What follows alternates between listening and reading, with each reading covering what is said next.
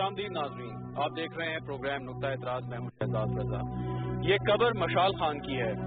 आ, Mardan university का वो student जो गुजशत चंद रोज पहले दरिंदों के हाथों चढ़ गया और उसे शक की बुनियाद पर इंतहाई बेदर्दी के साथ आ, मार मार के जख्मी करके और तशद करके हलाक कर दिया गया।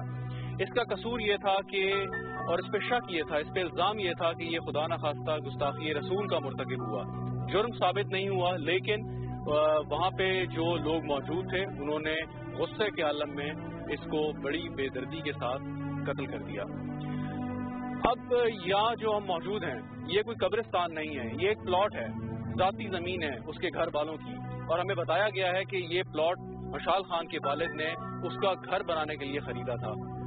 ये मौका तो नहीं आ सका कि वो अपना घर बनता हुआ देखता और उसमें रहता, लेकिन अपनी आखिरी आरामगाह इसी जगह पे जो उसके वालिद ने उसके मुस्तकबिल के लिए खरीदी थी, वहाँ पे आज ये मदफून है।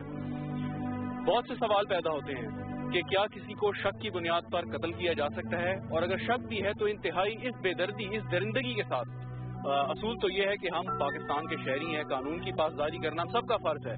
और अगर इस पर कोई शक था तो असूल का और कानून का तकाजा ये था कि उसके खिलाफ बाबा तौर पर कोई पुलिस में रिपोर्ट दर्ज कराई जाती कोई शिकायत दर्ज कराई जाती है उस पर तहकीकत होती लेकिन ऐसा नहीं हुआ। और ये कोई पहला वाक्य नहीं, बेशुमार वाकयात हम माजी में देख चुके हैं कि महज शक की बुनियाद पर लोगों को मौत के घाट उतारा गया और लोगों के जज्बात को भरा गया। इस तमाम तर चीज़ों को इस प्रोग्राम में हम डिस्कस करेंगे। आगाज़ हमने किया मशाल खान की आखिरी आरामगाह से। मशाल खान के घर जाएँगे, उसके वालद साहब से, उसकी वालदा से बात करने की कोशिश करेंगे और आपको उस जगह भी लेके चलेंगे, उस यूनिवर्सिटी में, उस इलाके में, वहाँ के लोगों से बात करेंगे, वहाँ के पुलिस इंतजामिया से बात करेंगे कि आखिर ये तो पेश क्यों आया वाक्य?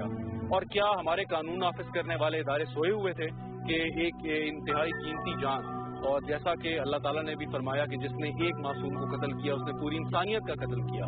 तो ये तमाम दस सवाल जो जवाब तलब हैं, कोशिश करेंगे हम इस प्रोग्राम में जानने के लिए।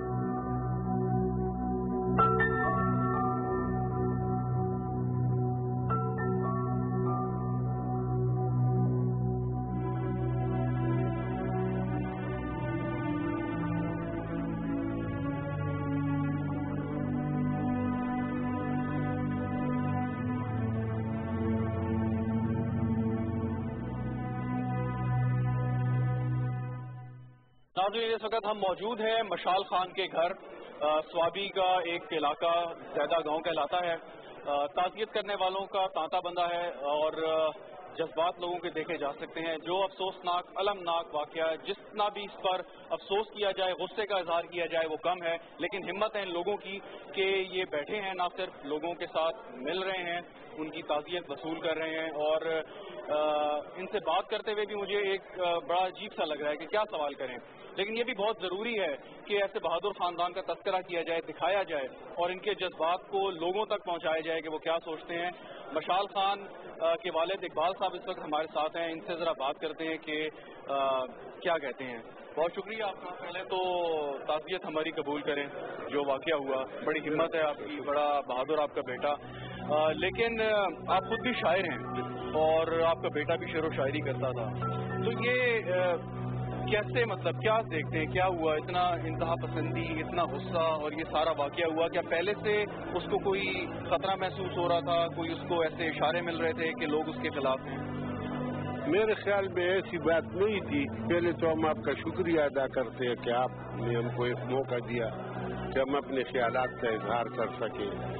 मसला इस मुल्क में ऐसा है ना कि बाज जो अंधेरों के लंबरदार है, वो रोशनियों को शिकस्त देना चाहते हैं। तो हमारा तो बेटा मशाल था, रोशनी था। ठीक है, उसको इन लोगों ने खत्म किया। लेकिन हमारे साथ अब ज़्यादा फ़िक्र इस बात की है कि तमाम पाकिस्तान के हर घर में जो नौजवान है, वो एक मशाल है। तो हमारे साथ उसकी फ़िक्र लगी हुई है कि वो उनको बचाया जाए। बस हमारे को जो नुकसान था या जो हमने जो बचपन से लेकर अभी तक उसका जो खिदमत किया था या जो ज़िंदगी उसके साथ गुजारी थी तो बस ठीक है। अगर अपने बेटे के बारे में बता सकें क्या कैसा बच्चा था क्या सोच रखता था क्या करना चाहता था पढ़ लिख के क्या उसके इरादे थे क्या एम्बिशन थे? वो तो बचपन से जो शुरू हुआ था ये हमारे उसके कमरे में भी ये लोग प्रेस वाले आए थे या ये न्यूज़ वाले। तो उसका कमरा भी देखा, उसकी किताबी भी देखी। तो बचपन से उसका शौक जो था, वो ज़्यादातर जो है ना, वो इलम की तरफ़ था। और वो जो है ना, एक फरमान बरदार बच्चा था, ये महल्ला इसमें आप किसी से भी पूछ सकते हैं कि उन्होंने कभी किसी को दुख नहीं दिया, कोई सख्त बात नहीं की। और खुद बहुत तबा यानी एक तसौफ का आदमी था और यही प्रचार वो घर में भी करता था लेकिन उसकी जो ख्वाहिश थी वो ही थी क्योंकि उसने मुझे कई बार बताया था कि मैं इल्म इसलिए हासिल कर रहा हूँ खुद कोशिश कर रहा हूँ क्योंकि मैं इस पर पैसा भी नहीं कमाना चाहता हूँ मुझसे ये तो मत रखना मैं चाहता हूँ कि मेरे मैं ये इल्म जो है ना ये इल्म की रोशनी जो है ना ये लोगों में तकसीम करूँ। मैं ये सवाल आपसे पूछना नहीं चाहता लेकिन क्योंकि ये मामला आगे चला उसके आपके बेटे पे इल्ज़ाम कई तरह के आयद हुए कि सोशल मीडिया के ऊपर कुछ ऐसे पैगाम आए जिससे लोगों की दिल आजारी हुई अगरचे अगर हुई भी तब भी उनको हक नहीं पहुँचता कि वो इस किस्म की कोई हरकत करते लेकिन इस किस्म की बात तो कोई आपके मुशाहे में नहीं आई थी कभी। पहले तो मैं जिसकी दिलाजारी हुई है या कराई गई है तो मैं उन लोगों से माजरत पा हूँ जो लोग आपकी तरह हमारे घर पर आए थे तो उन्होंने उसके कमरे में देखा कि उसने जो चीज़ें लाई थी, उस पर लिखा, बिल्कुल पके लगे हुए दीवारों में गॉड ब्लेस आवर होम उसके अलावा सूरत रहमान का अब अब भी आप जा सकते हैं। बहुत अरसे से लगा हुआ है। या जो उसके कमरे में जो लोग गए उधर मरदान में तो उसने लिखा है कि हज़रत Mohammad is the messenger of Allah and Allah is the greatest वो तो जीव वालों ने भी साबित किया है। बकाया जो है ना, एक आदमी या एक लड़का, जो वो इलम का मुतलाशी है, उसमें कोई जाति लालच नहीं है, जो सच्चाई का लंबरदार है। वो और इतना स्टडी भी है कि वो दिन को सोलह सतारह, अठारह घंटे स्टडी करता है, किताब पढ़ता है, कलम उठाता है। वो ऐसा तस्वर कैसे करेगा? लेकिन इस मुल्क में ये जो बात है कि अगर आप किसी की सच्चाई या किसी की सोच को या इल्म को बर्दाश्त नहीं कर सकते, और उस पर ये इल्ज़ाम जो है न लगाए ये तो इससे पहले भी बहुत से लोगों पर लगे हुए हैं। तो मतलब ये कि ये अच्छी बात नहीं है ये जो हमारा दीन है या जो हमारा पैगंबर इस्लाम तो वसल्लम जिसने इस्लाम लाया है, जो अमन और सलामती का पैगंबर था तो ये तो उसकी दिन पर भी ये लोग दाग लगा रहे हैं। और बल्कि मैं तो कहता हूँ कि ये लोग दशगर्द है कि जो इतने साफ़ सुथरे और पाक और एक सफ़ेद दिन को जो है ना वो बदनाम कर रहे हैं। हम कैसे इस बात का तस्वुर नहीं कर सकते हैं सर? हम हम पीस अपान हिम के आशक है। वो भी सूफी था। वो वो वो, वो फलसफा पढ़ता था। वो तसवुफ पढ़ता था। वो उसने इंजीनियरिंग किया था। वो जर्नलिज्म और अदब में आ गया। हमको भी पता लगा कि शायरी भी करता था। तो ऐसी बात है ये तस्वर नहीं किया जा सकता।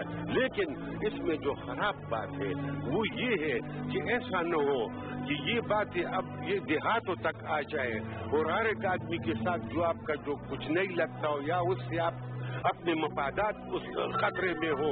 और उस आदमी की गर्दन पर ये इल्ज़ाम जो है ना वेजा करो, ये बहुत बुरी बात है। इसको सोशल मीडिया को चाहिए वकला को चाहिए, शायर और अदीबों को चाहिए, हमारे रियासत, हमारे स्टेट के हुक्मरानों को चाहिए कि वो इस किस्म के अंधेरों की सोच को रोके। मशाल मरहूम के चचा भी हमारे साथ हैं। उनसे जरा उसकी शख्सियत के बारे में कुछ जानने की कोशिश करते हैं। वाले साहब की बात को आपने सुनी आप बताइए। अलैक्म जी मेरा नाम गुलजार अली है सोशल वर्कर हूँ और यहाँ के उलिसी जिरगे का भी मेंबर हूँ। जिरगे का ये क्या रिश्ता था? वो भतीजे थे मेरे। भतीजे थे जी और मेरे हाथों में पला बड़ा था।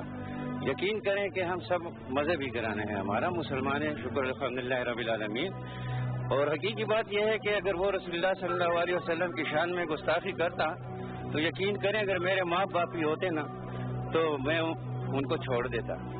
क्योंकि नबी के खिलाफ बात करना असल में सियासी रंग दिया गया सारे वाक्य को अपनी दहशतगर्दी को छुपाने के लिए ये इल्ज़ाम लगाया गया।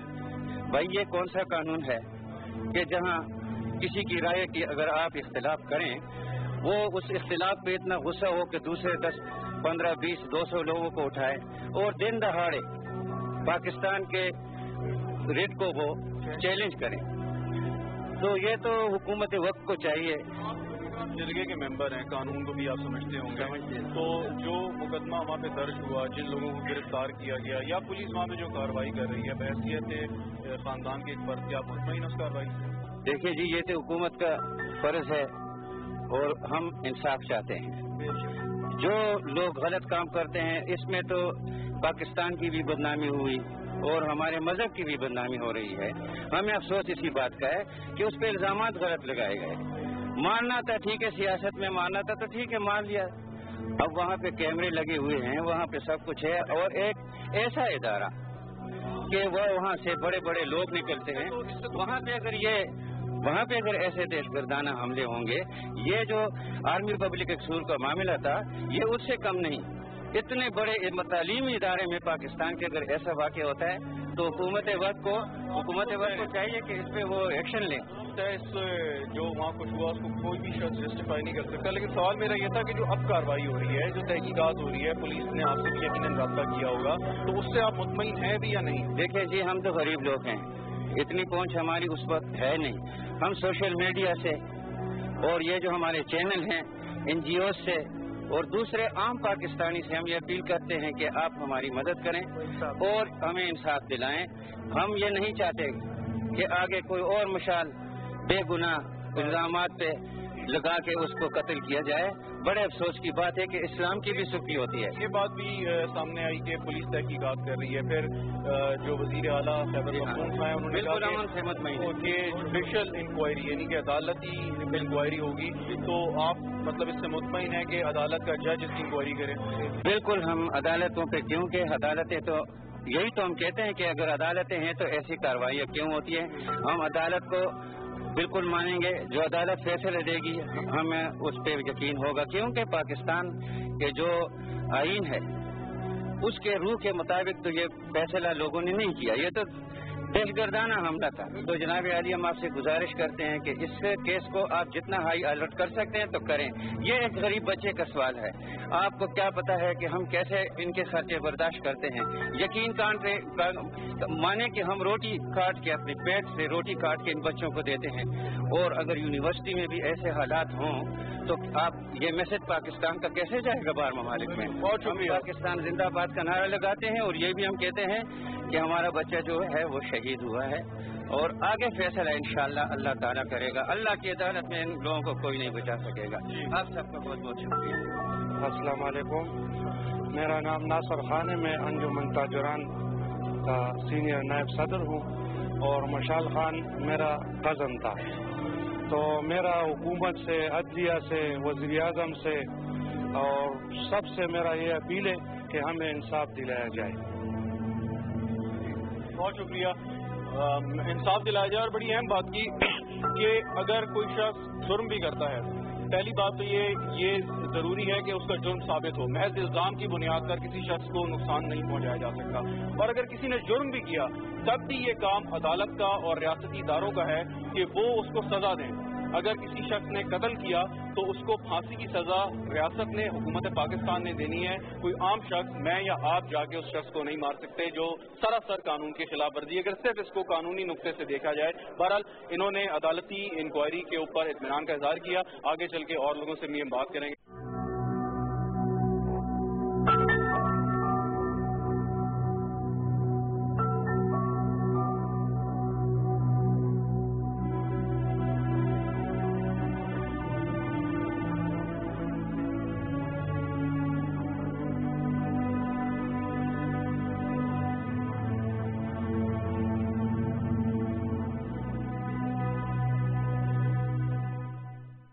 नाजरी मशाल खान की हलाकत के बाद कुछ ऐसे भी चीज़ें सामने आई जो उनके घर वालों के लिए, रिश्तेदारों के लिए इंतहाई दुख का बायस थी। मिसाल के तौर पे ये इलाके की मस्जिद है, मैं इसके सामने खड़ा हूँ। यहाँ के जो इमाम साहब हैं, उन्होंने दौरान नमाज़, फजर की नमाज़ के दौरान उन्होंने लोगों को बात बताई और कहा कि अगर क्योंकि उस पर शक है कि वो गुस्ताफी रसूल का मुस्तकब हुआ है, इसलिए उसके जनाजे में शिरकत जायज़ नहीं है। और जो यहाँ का इमाम है, वो खुद उसके जनाजे में शिरकत करने नहीं आया। तो ये एक ऐसी बात है कि एक शक की बुनियाद पर अहले इलाका में, अहले मोहल्ला में इस किस्म के नफरत के, मुनाफरत के बीज बोने की कोशिश की गई।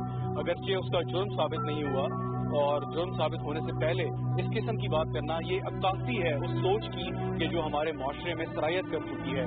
और उसमें आम लोगों के साथ साथ वो लोग भी मुलविस हैं कि जो अपने आप को आलम दिन कहते हैं, जो लोगों को नमाज़ पढ़ाते हैं, इमामत करते हैं, और जिनका ज़्यादा ये फ़र्ज़ बनता है कि लोगों में अमन का दर्द दें, मोहब्बत का दर्द दें, और इस किस्म की सूरत हाल से टकराव से, तसादुम से बचाने की कोशिश करें। लेकिन जो बात उन्होंने कही, उससे ना सिर्फ़ दिल आज़ारी हुई, बल्कि नफरत के जज्बात गए।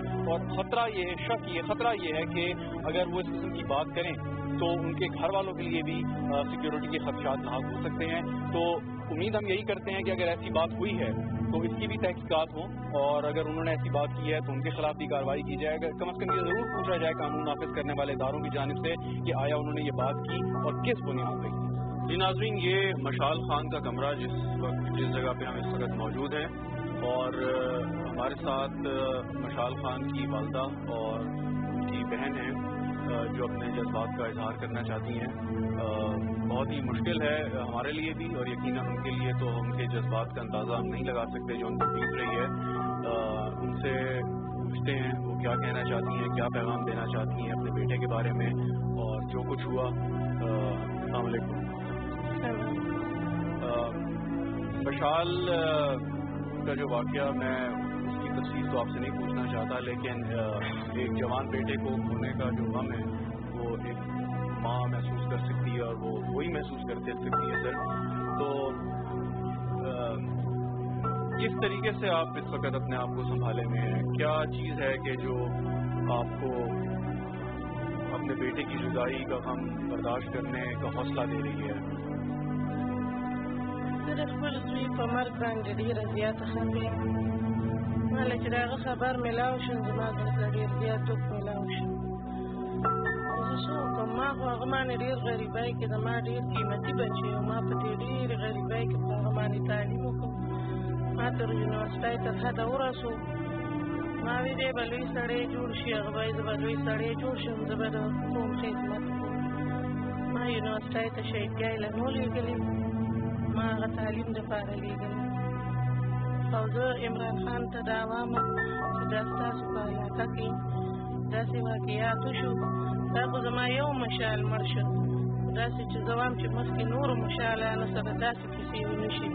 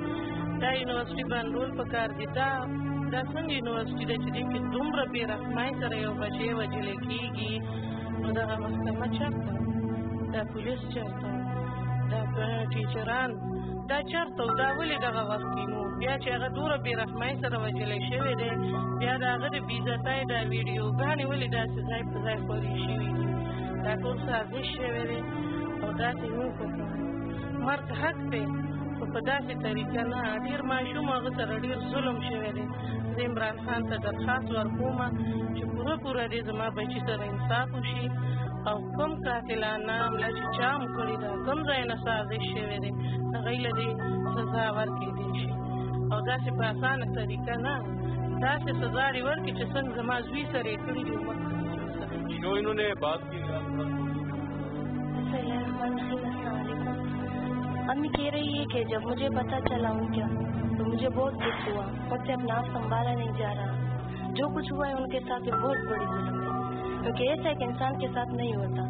उन्होंने अपील भी की है कि इमरान साहब या प्राइम मिनिस्टर साहब जो है वो हमारे लिए हम इंसाफ का तकाजा रखते हैं और उनकी जिस तरह से मौत हुई है उस तरह से हम डिमांड करते हैं कि उन लोगों के साथ भी हो जाए। और मज़हब के नाम से किसी को बदनाम करना ये बहुत बड़, बड़ी गलती है बहुत बड़ी गलती है और ये सफ़ा की है। इट्स ब्रोटेलिटी वो कह रही है कि मशाल खान, ऐसा इंसान था कि हर वक्त था कि मैं तो इंसानियत की खिदमत करता हूँ। वो तो अमन मोहब्बत का अलम्बरदार था। उसका तो मकसद ही था ज़िंदगी में इंटेग्रिटी पीस एंड लव जहाँ पर भी वो जाता था तो वही किताबें पढ़ता था जो सूफिज्म रिलेटेड होती थी। तो अम्मी कहती है कि मुझे बहुत ज़्यादा दुख है और ये दुख मैं एक्सप्लेन नहीं कर सकती अपने वर्ड से और उन्होंने अपील भी की है कि हमारे साथ इंसाफ हो जाए हम इंसाफ का तकाजा यकीन इंसाफ तो मिलना चाहिए और यकीन हम सब की यही कोशिश होगी कि इंसाफ मिले। लेकिन यहाँ पे एक चीज़ मैं ये कहते चलूँ कि जो ये अभी इस वक्त थोड़ा जज्बाती है और इनका जज्बाती होना बनता है। लेकिन इसके साथ मेरे ख्याल में अगर इंसाफ मिले और उनको करार वाकई सजा दी जाए, लेकिन जिस बेदर्दी के साथ या बेरहमी के साथ आपके भाई को उन लोगों ने मारा। तो शायद कानून उस तरीके से वो ना कर सके और अगर हम उनके लेवल पे चले जाएँ तो हमारे में और उनमें कोई फ़र्क नहीं रह जाएगा। दूसरी उसके बात अगर ये बता सकें कि आपकी दफ़ा मशाल से कब बात हुई और उसने क्या कहा और क्या मतलब कब वो घर आ रहा था और आपकी मुलाकात उनकी कब से बता रही ಮಸ್ಕಿ मस्त की ವಿಯಮಿ ಪ್ರತಿ ಚದರ್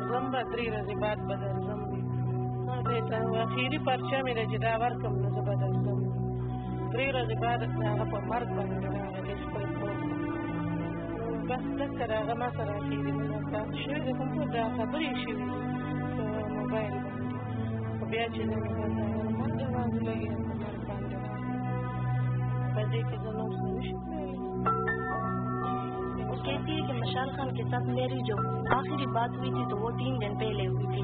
और वो कह रहा था कि मैं जुम्मे के दिन आऊँगा। मतलब जिस दिन उसकी डेथ हुई। वैसे दिन उन्होंने कहा था कि मैं आऊँगा। और मामा को ये भी बताया कि मैं अपना काम ख़त्म करके या हॉस्टल से अपने सामान फेंक करके मैं आऊँगा। इसलिए वो इंतज़ार में था। लेकिन जब वो है तो वो उसके जिसम पे मौत का चादर। जुल्म हो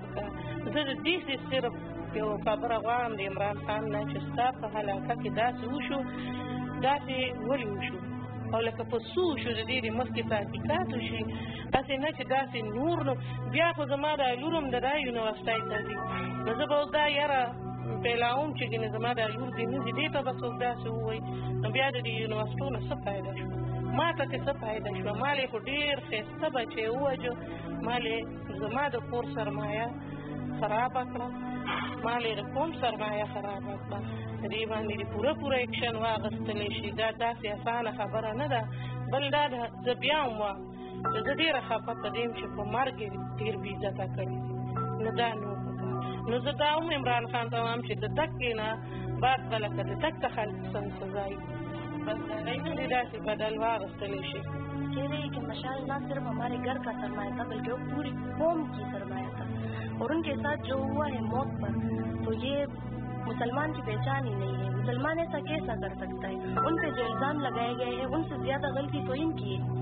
मतलब ये इन, इस तरह की सफ़ा की तो इंसान जहन इंसानी जहन नहीं मानती।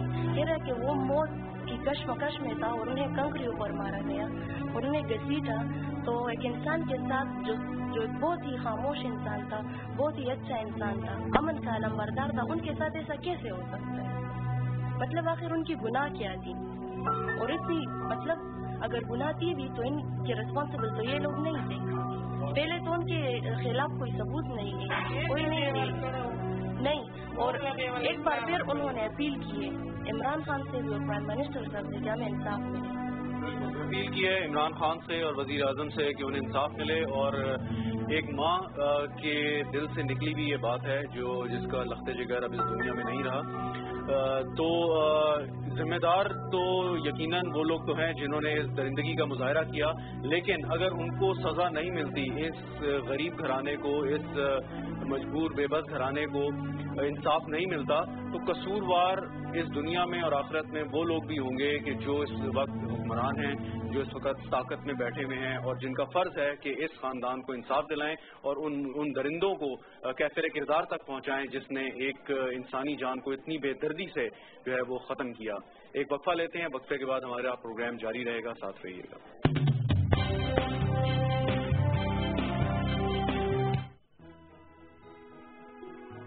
डॉक्टर साहब हमारे घर बार बार पोलियो वाले आ जाते हैं। बच्चों को बार बार कतरे पिलाना, उनके लिए नुकसानदेह तो नहीं।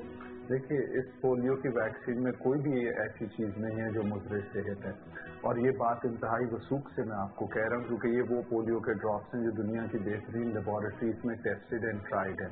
और आप जितनी दफ़ा भी साल में अपने बच्चे को पोलियो के ड्रॉप्स पिलाएँ, उससे उसकी कुत मुदाफियत मज़बूत होती है और पोलियो से बचाव ज़्यादा बेहतर होता है और उसकी सेहत को किसी किस्म का कोई खतरा नहीं। याद रखिए, जब भी सेहत मुहाफिज आपके घर आए तो हर बच्चे को पोलियो के कतरे हर मुहिम के दौरान ज़रूर पिलाइए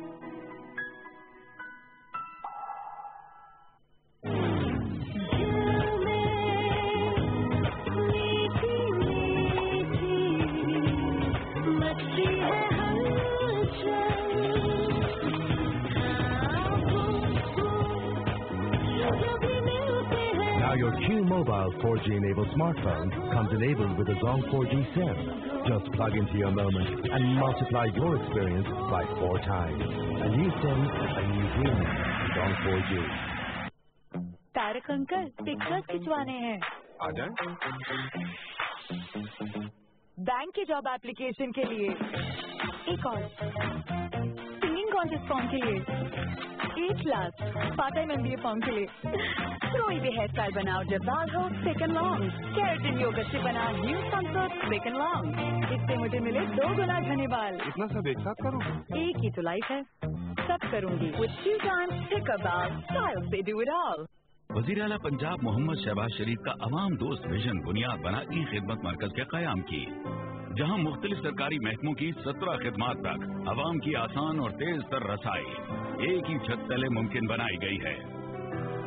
सरकारी महकमों की खिदमत ऑटोमेटेड प्रोसेस के साथ चंद मिनटों में हासिल की जा सकती है। इस्तबालिया काउंटर पर मालूम लेने और टोकन हासिल करने से मतलूबा खिदमत हासिल करने तक हर कदम सहूलत, हर कदम खिदमत। मुकर्रा वक्त में खिदमत की यकीनी फराहमी, इंतहाई जदीद निज़ाम से मॉनिटरिंग शहरियों की खुदकार निज़ाम के ज़रिए दरखास्त के स्टेटस तक रसाई। मजीद मालूम के लिए helpline zero eight hundred zero nine one hundred आरोप मुफ़्त कॉल करें या नाइन वन डबल ज़ीरो आरोप एस एम एस करें या website F C dot Punjab dot G O V dot P K visit करें।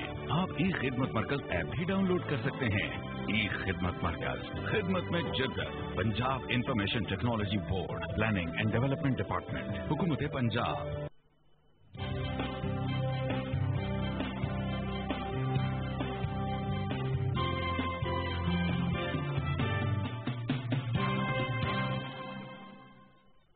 प्रोग्राम में एक बार फिर खुश आमदीद, नाजरीन। वक्फे से पहले आपने देखा, हम स्वाबी में मौजूद थे। मिशाल खान के वालदेन से हमने गुफ्तू की, बातचीत की।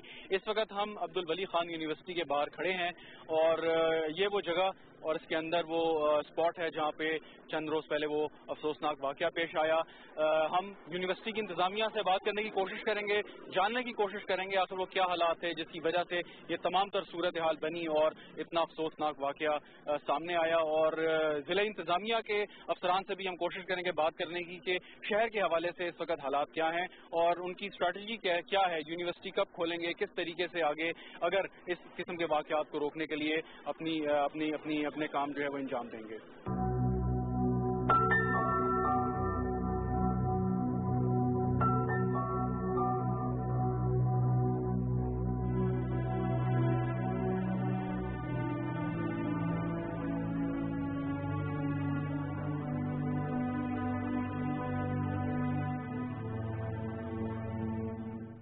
नाजरीन इस वक्त हम अली खान यूनिवर्सिटी मरदान में मौजूद हैं और जो वाकयात कुछ दिन पहले यहाँ पे रोनुमा हुए, उस सिलसिले में बात करने के लिए हमारे साथ मौजूद हैं डीसीओ मरदान डॉक्टर इमरान साहब। बहुत शुक्रिया डॉक्टर इमरान साहब।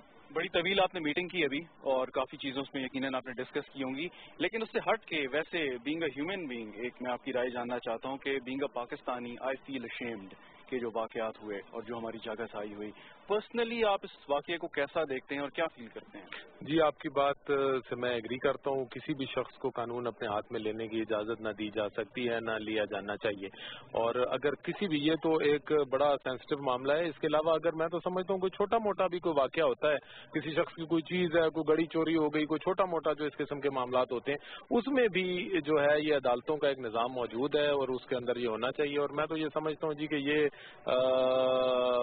अदालती जो हमारा सिस्टम है और जो हमारा जो प्रोसिक्यूशन का सिस्टम है, अगर उसके उसकी इन्वॉल्वमेंट इसमें हो जाती और लोग जस्टिस को अपने खुद से एक वो स्ट्रीट और मॉब जस्टिस जिसको कहा जाता है which is no justice actually और अगर वो ना इस पे करते तो ये इस तरह की कोई सवाल ही पैदा नहीं होता कि इस तरह की कोई सूरत हाल होती। आप ये कह रहे हैं कि अगर टाइमली अगर कोई कंप्लेंट थी जैसे ये बात सामने आ रही है कि चार पाँच दिन से स्टूडेंट्स जो है उससे कोई बात कर रहे थे या इस तरह की एक गड़बड़ चल रही थी या टेंशन की एक फजा बन रही थी तो उस वक्त टाइमली एक्शन नहीं लिया गया पुलिस की जानब से। अगर लिया जाता तो शायद ये नौबत ना नहीं जी हमने आ, हमारी जो रिपोर्ट्स हैं उसके मुताबिक तो ये चार पाँच दिन से मामला जो था वो नहीं था। और ये शायद on spur of the movement कोई इस किस्म की चीज़ हुई है। और इसके अंदर ये बात कहना कि जी कोई पुलिस की तरफ़ से कोई कार्रवाई या वो नहीं है मैं ये सिर्फ़ कहना चाह रहा हूँ कि लोग कानून को अपने हाथ में लेने की बजाय अगर अदालत का फोरम यूज़ करते, पुलिस का फोरम यूज़ करते prosecution all these institution are in place they are working and they are working very good तो उसकी वजह से अगर वो कर दिया जाता तो मेरा ख्याल है इस तरह का ये हो ही नहीं सकता था कि ये इस तरह की कोई वाकत जैसे आपने कहा कि कोई जगह सही हुई है और ऑब्वियसली इस तरह। लेकिन उसमें ऑब्वियसली आपका जवाब देना शायद ना बनता हो, लेकिन लोग कहते हैं कि जो पुलिस स्टेशन है just a stone throw away और बिल्कुल करीब है। जब ये वाक़ हो रहा था तो अगर टाइमली पुलिस कंटिजेंसी यहाँ पे आती और यहाँ पे कोई कार्रवाई होती तो शायद जान बच सकती थी। तो आपके ख्याल में कोई डिले तो हुआ होगा? यकीनन उन लोगों को ये कहना कि वो कानून का रास्ता इस्तेमाल करते जो एक मजहबी जुनूनी या इंतहा पसंदी पे पहुँचे हुए हैं तो शायद वो इतना मुनासिब ना हो इस मौके पर देखिए, जो टाइम की टाइम मैनेजमेंट की बात आप कर रहे हैं टाइम मैनेजमेंट पे एक कैजुअली कमेंट कर देना मुनासिब नहीं होगा।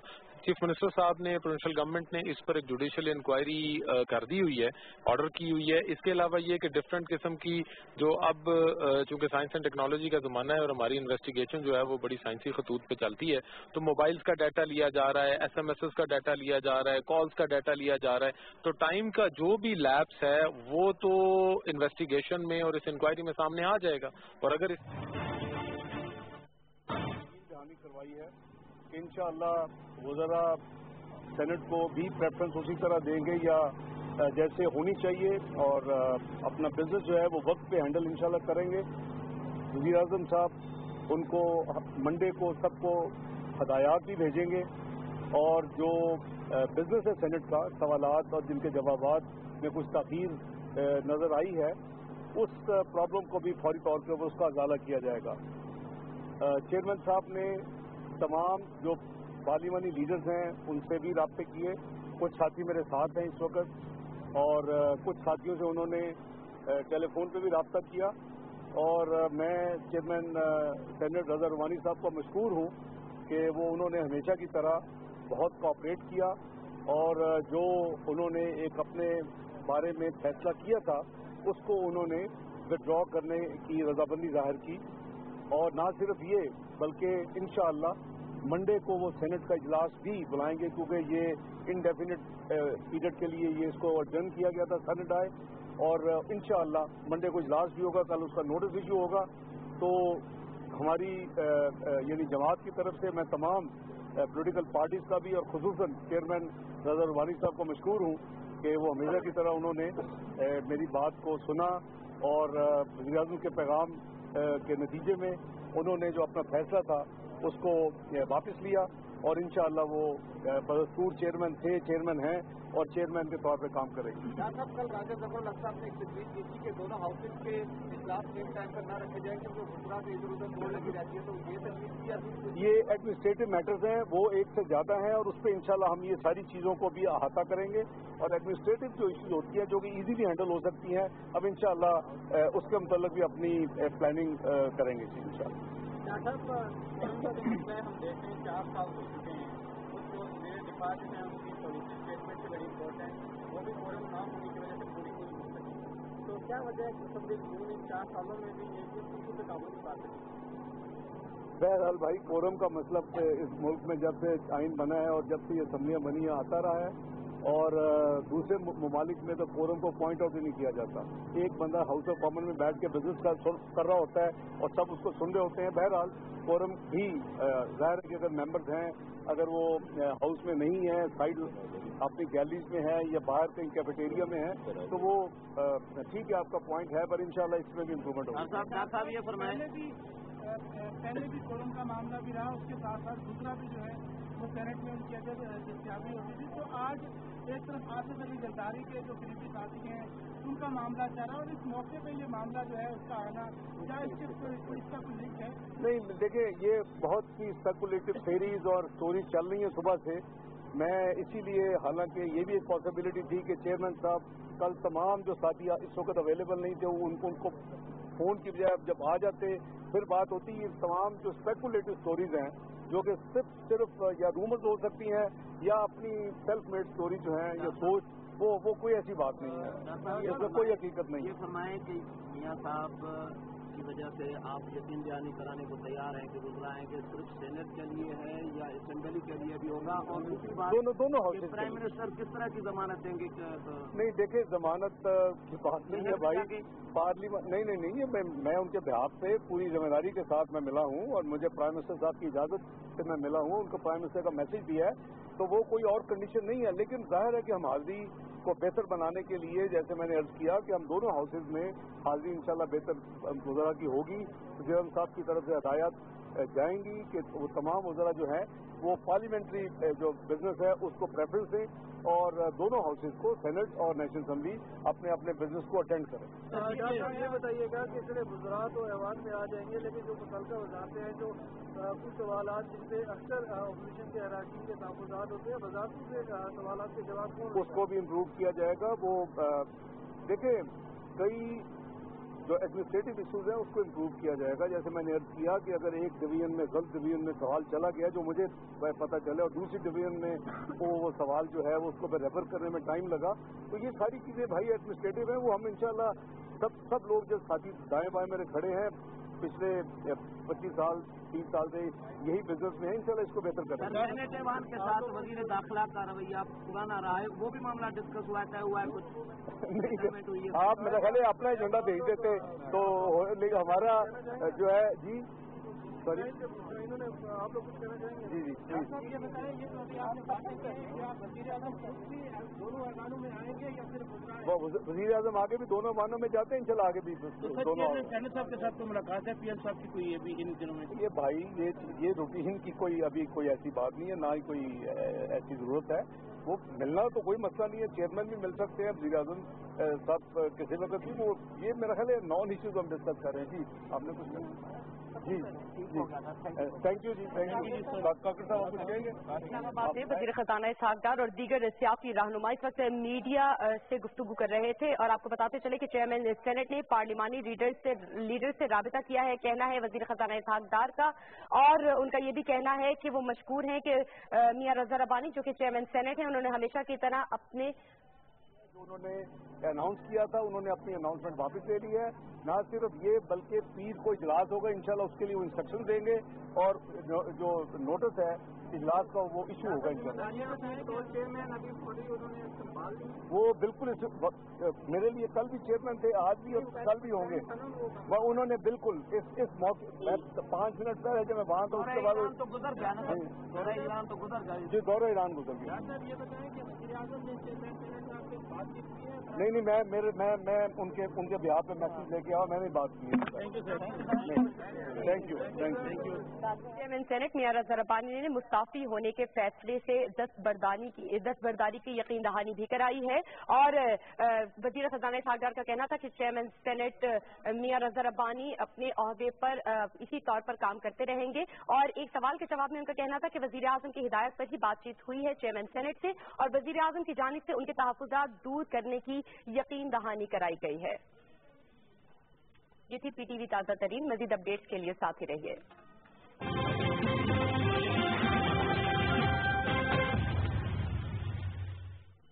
वाले हैं प्रोवोस्ट हैं और उन लोगों की जो सारी ज़िम्मेदारी है उनके दस के करीब लोग गिरफ़्तार हैं मजीद भी एक्सपेक्टेड हैं अरेस्ट या नहीं? जी जी बिल्कुल। बीस लोग एफआईआर में नामजद हैं और उनकी गिरफ्तारियों के लिए छापेमारी यूनिवर्सिटी इंतजामिया क्योंकि यहाँ पे यूनिवर्सिटी की अपनी सिक्योरिटी होती है अपने लोग होते हैं तो डेफिनेटली आपने पूछगछ या इन्वेस्टिगेशन में शामिल तो करेंगे कि पुलिस का काम तो अपनी जगह उन्होंने बाहर से आना है लेकिन आपकी अपनी सिक्योरिटी भी नाकाम रही इस वाक्य को कंट्रोल करने में। बिल्कुल इस पर इन्वेस्टिगेशन चल रही है। बहुत शुक्रिया डॉक्टर इमरान साहब हमारे साथ मौजूद थे नाजरीन।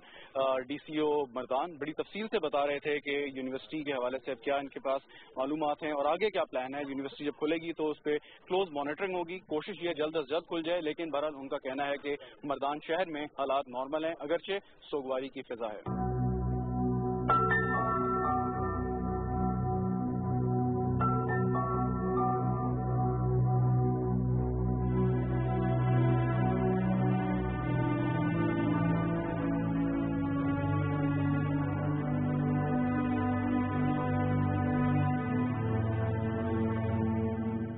नाजरीन हम उस हॉस्टल के बाहर मौजूद हैं जहाँ से मशाल को उसके कमरे से बाहर घसीट के निकाला गया और फिर बाहर लाके उसको तशद करके हलाक कर दिया गया। ये वो हॉस्टल है अब्दुल वली खान यूनिवर्सिटी की और जो वाकयात सामने आए, जो वीडियोज़ आई और जो लोगों ने देखी, वो तमाम तर जुल्म के वाकयात और बदतरीन तशद इसी जगह पे हुआ और मॉब की शक्ल में जो लोग यहाँ पे आए और उन्होंने जिस तरीके से पर तशद किया इस पे क्या एग्जैक्टली हुआ? आई विटनेस हमारे पास मौजूद है, यूनिवर्सिटी के प्रोवोस्ट प्रोफेसर फयाज अली शाह साहब और एक बात ये भी कि उस वक्त ये ना सिर्फ़ यहाँ पे मौजूद थे, बल्कि मशाल को बचाने के लिए वो आगे आए और जख्मी भी हुए उसमें। करेक्ट भी फाइम रॉन्ग ये सारा वाक्य हुआ और आप Bismillahirrahmanirrahim. My name is Professor Sayyid Fayaz Ali Shah and recently I've been appointed as a provost over here. उधर एक मीटिंग हो रही थी वाइस चांसलर साहब के ऑफ़िस में मैं उसमें मौजूद था और वो मीटिंग जब खत्म हुई ये तकरीबन एक बजे सवा एक बजे का वक्त है। तो मैं जब ऑफ़िस से निकला तो एक बहुत बड़ी प्रोसेशन जा रही है। मैंने पूछा, ये क्या है? कहने लगा, कोई बंदे उधर खड़े थे कि किसी ने मतलब मज़हब के खिलाफ बात की है और ये उनको मतलब they want to take action against them I rush to the spot ये लोग मैनेजमेंट साइंस में तकरीबन 1500 अपने लड़के होते हैं और बच्चियाँ भी पढ़ती है। ये मॉब जो है सैकड़ों में था। तो ये वहाँ पर घुस आए। मैं चूंकि एक जिम्मेदार ऑफिसर हूँ इस यूनिवर्सिटी का I rush to the spot when I enter the office of the chairman of the journalism department this Abdullah was were there and uh, uh, the chief proctor and um, director Edmund and other officers of the university were even the DSP was present at that occasion and they wanted to talk just to settle the जो mob था वो बात करना चाह रहा था नहीं, नहीं, बात ये हो रही थी कि मतलब है कि अगर ये गिल्टी है चार्ज है तो हम इनके खिलाफ यूनिवर्सिटी के कानून के मुताबिक एक्शन ले लेते हैं। ये बातें हो रही थी और सडनली मॉब जो है they forcefully entered the office and the, the office over there. Uh, at the initial stage, the situation was developed over there. So उन्होंने खिड़कियाँ भी तोड़ दी और दरवाजे भी तोड़ दिए और उस लड़के को जुदकूब कर, करने की कोशिश कर रहे थे पुलिस और हम उसे बचाने के कानून के मुताबिक मतलब इसके साथ निबड़ हाँ बिल्कुल मेरा हाथ उसी वाक़े में मौके पर जख्मी भी हो गया और भी लड़कों को जख्म आ गए। और फिर जो है पुलिस और हमने उस बच्चे को निकाल बाहर किया। जब ये हुआ और वो यहाँ तक पहुँचे तो इसमें वक्त कितना लगा? कितना टाइम लगा? बात ये है तकरीबन दो बजे हम मीटिंग में थे। तो दो बजे के करीब वार्डन ने मुझे इतला दी कि उस लड़के को they shot him to death और उसको टार्चर किया नहीं, लेकिन जब आप के सामने सूरत हाल डेवलप हुई वहाँ पे मॉब था आपको भी जख्मी किया बाकी लोगों को भी और इसके बारे में भी तलात आ रही थी तो फौरी तौर पे पुलिस को या बाकी इदारों को क्यों नहीं तलब किया गया? बात यह है पुलिस को तलब किया गया था वो वेल एंड टाइम इधर मौजूद थे उधर उस मैनेजमेंट साइंस में फिर हम तो समझ रहे थे कि ये मामला खत्म हो गया लड़के को ये इसका तो हमें पता नहीं था।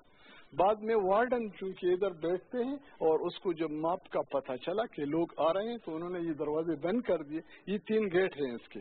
तो उन मॉब ने इस दरवाजे को तोड़ दिया फिर ऊपर चले गए और उस लड़के को दे ड्रैग पर्सनली जानते थे उस लड़के को या नहीं? नहीं मैं नहीं जानता था क्योंकि recently I have taken over as the provost मैंने पूछा लोगों से जो मेरे ऑफ़िस में थे कि भाई इसके खिलाफ कोई कंप्लेंट वगैरह तो हम्म, आप कह रहे हैं उसके खिलाफ कोई कंप्लेंट नहीं थी। आज चीफ मिनिस्टर परवेज खटक साहब ने असेंबली में ये बात की कि उसके खिलाफ कोई सबूत भी नहीं मिला ऐसा कि उसने गुस्त- खुदा खास्ता गुस्ताखी रसूल का जुर्म किया और मुर्तकब हो। लेकिन यूनिवर्सिटी इंतजामिया ने एक सर्कुलर या एक नोटिफिकेशन जो जारी किया और तीन स्टूडेंट्स बशमूल उस बच्चे के जिसकी डेथ हो गई उनको यूनिवर्सिटी से निकाल मैं वजाहत करता हूँ उससे। ये गलती से it was a clerical mistake क्योंकि डेड बॉडी का तो कोई वो नहीं करता रेस्टिकेशन नहीं करता। हमने मीटिंग कॉल की और एक कमेटी कंस्टिट्यूट की just to probe into the matter और ये भी कहा लोगों को कि हम एक्शन ले लेंगे जिन पर चार्जेस है जो ये मशाल इसमें नहीं था। बाद में हमने क्लेरिफिकेशन वजाहत भी कर दी। आपने वजाहत की लेकिन आपने जो बाकी दो स्टूडेंट्स हैं उनको यूनिवर्सिटी से निकाल दिया है? नहीं हमने निकाल नहीं दिया है। हम we want to probe into the matter क्योंकि इन्वेस्टिगेशन हो रही है और इन्वेस्टिगेशन के नतीजे में फिर फैसला होगा। अच्छा लेकिन नोटिफिकेशन में एक्सपल्शन का वर्ड नहीं आप कह रहे हैं? ये सस्पेंशन की बात है और ये गलती से हमने मतलब है कि ऑन एयर भी किया है रात के वक्त और लोगों को पता भी चला है लेकिन ये गलती हुई है वो जो जिसने ये नोटिफिकेशन लेकिन हमें जो हमने मालूम ली हमें तो ये हुआ कि ये मामला एक दिन का नहीं है कई दिनों से ये बातचीत चल रही थी तो अगर टाइमली एक्शन लिया जाता यही नोटिफिकेशन पहले ही आप करते हैं तो शायद फुल रिस्पॉन्सिबिलिटी ये बात कहता हूँ वसूख के साथ कि हमें ऐसी कोई इतला न रिटर्न न वर्बली अगर मुझे मिलती तो मैं ज़रूर एक्शन ले लेता।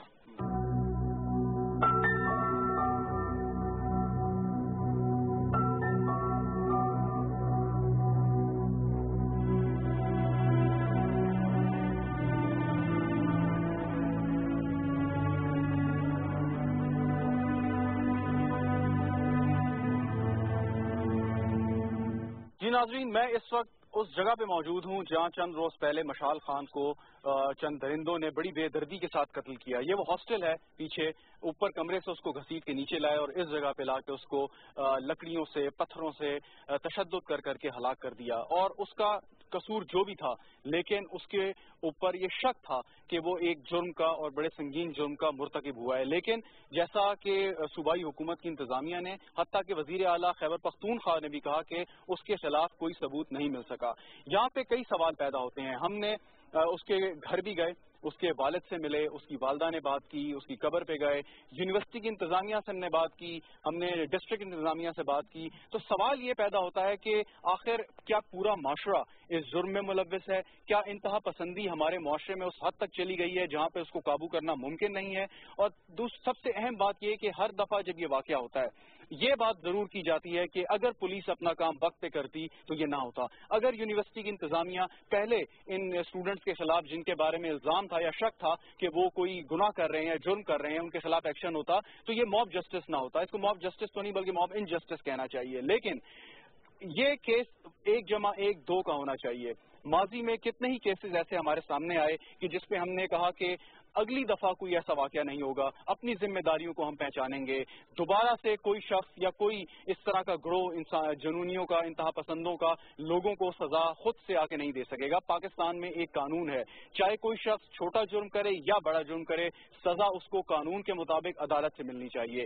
लेकिन हमारा ये वतीरा नहीं रहा। हर गलती से हम कहते तो हैं कि सबक सीखेंगे, लेकिन हम कभी सबक नहीं सीखते। और हर वाक्य के बाद हम दोबारा से वो पुरानी बातें दोहराते हैं। उम्मीद का दामन छोड़ना नहीं चाहिए। थामे रखना चाहिए और लेकिन फिर भी हमें इस चीज़ का एहसास होना चाहिए कि बहुत वक्त गुजर चुका है, बहुत सारे ऐसे वाकत हो चुके हैं, कितनी और इंसानी जानें हम और जाया होते हुए देखेंगे। इंतहा पसंदी को खत्म करना है माइंड सेट को तब्दील करना है, ये बड़ा लंबा और स्लो प्रोसेस है, इससे हर शख्स को किसी शख्स को इससे इनकार नहीं होगा। लेकिन इसके साथ साथ जो काम है, कानून नाफज करने वाले इदारों का, वो तो फौरी तौर पे किया जा सकता है और शायद ये काम अगर इस वाक़े में पहले हो जाता तो ये नौबत नहीं आती। कसूरवार वो लोग भी हैं जिन्होंने उसको मारा और कसूरवार वो लोग भी हैं जो उसको बचाने में नाकाम रहे। अब सवाल यह है कि किस तरीके से इस केस को मंतकी इंजाम तक पहुँचाया जाएगा? मुझे भी और आपको भी इसका इंतज़ार रहेगा। वक्त खत्म हो गया, इजाज़त दीजिए, खुदा हाफिज।